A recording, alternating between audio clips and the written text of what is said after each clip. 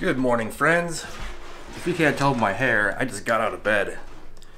And I woke up to find an email asking how to get the top plate off of my Mamiya 6 on a blog post I wrote.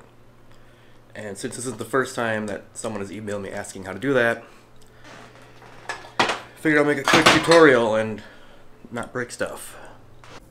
Okay. Removing the top plate on a Mamiya 6 Automat is Pretty simple, actually.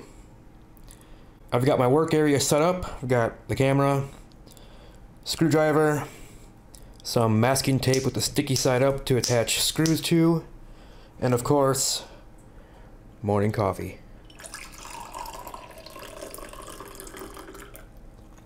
Mmm. So let's begin by looking at this side over here. Now, if you if you only want to open this up to adjust the rangefinder, you don't have to take the entire top plate off. You can simply remove this screw right here and take off these two screws, which will allow the cold shoe to pop off, and it'll have a little window that gives you access to the two screws used to adjust the rangefinder. But if you need to get in to clean up the viewfinder, you gotta take the top plate off. So to start, over here in the distance dial, you're going to want to just take these two screws off.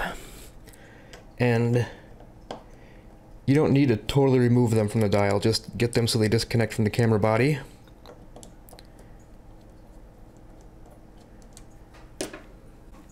And you can, now you can just pop it off and stick it down. Underneath is another screw, which needs to be removed. It's just another flat screw, just Get your screwdriver in there and give it a twist. Stick it down. That's all you need to do on this side. So let's go to the other side. Now here's the part that isn't very obvious if you don't know you have to do this, which is, actually I'm going to open the camera up because it's a little more stable. So normally this advances clockwise,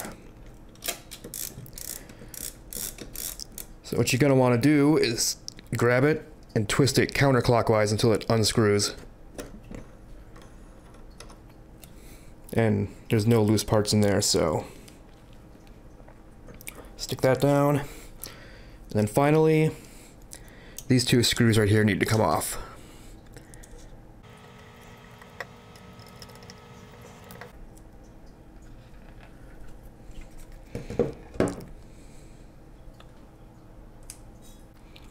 So now with these two screws off and this screw off, the top should just pop right up.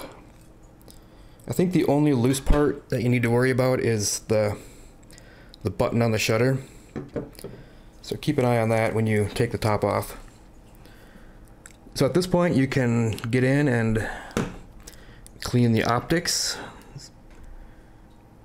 Little rangefinder patch. Boop, boop, boop. And you should be good to go. Now, when you put it all back together, first thing you need to just make sure is that as you put the top plate on, that this switch gets pulled over and back into its slot. And before I set all the screws back, I'll just take the, the dial, just put it on, spin it clockwise until it attaches itself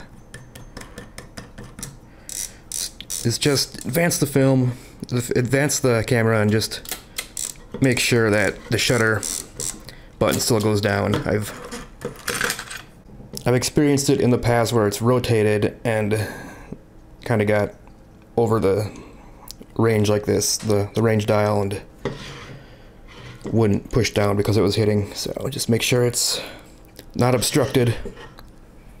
And that's how you take the top off of um, a Mamiya 6 Automat. It's pretty, pretty simple. Just put it back together, just do everything in reverse.